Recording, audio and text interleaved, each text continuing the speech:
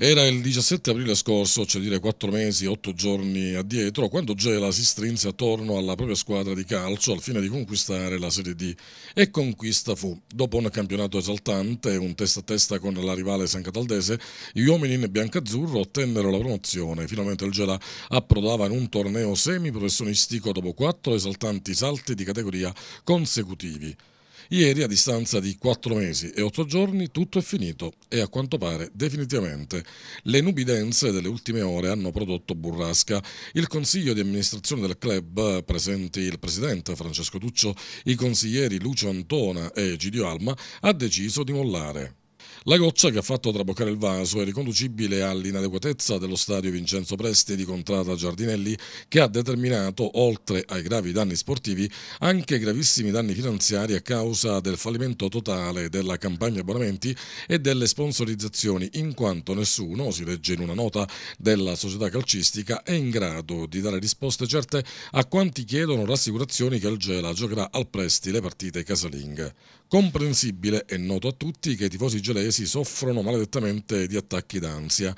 Analizzata dunque la situazione generale e in primo piano quella dello Stadio Presti, i cui lavori sul manto erboso non sono ancora cominciati, con le conseguenze sportive ed economiche che si stanno riverberando su questa stagione, hanno avuto un ruolo determinante nella decisione presa all'unanimità di lasciare il calcio.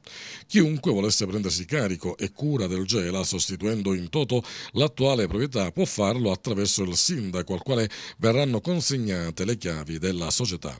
Se malauguratamente non dovesse verificarsi nessun avvicendamento in seno alla società già a partire dalla prima gara di campionato, prevista per domenica 4 settembre, il Gela non si presenterà fino alla radiazione. I tifosi che hanno già acquistato l'abbonamento saranno rimborsati e tutti i giocatori da ieri sono liberi di trovare un'altra squadra.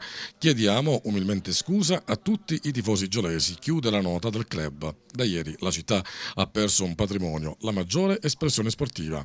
Un finale chiaro che nessuno si aspettava. Ma adesso ci chiediamo cosa accadrà. I giocatori dove andranno? E il tecnico? E il direttore sportivo? I giocatori credo, mi auguro, si accaseranno presso altre squadre, anche perché ora non è che sarà particolarmente facile, non lo so, siamo, insomma le squadre già sono quasi tutte sistemate, però penso che potranno trovare sistemazione altrove.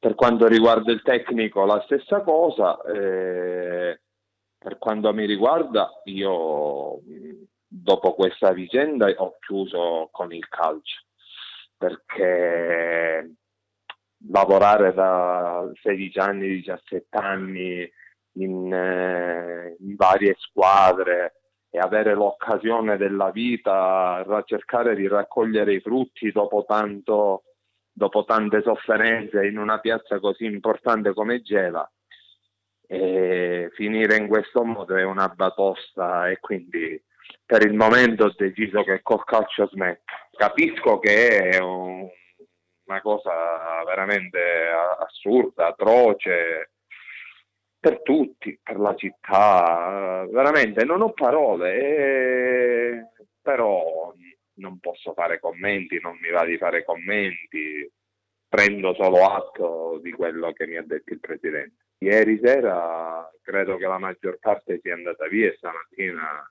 saranno andati via tutti. Però fermo restando che rimangono sempre tesserati del città di Gela.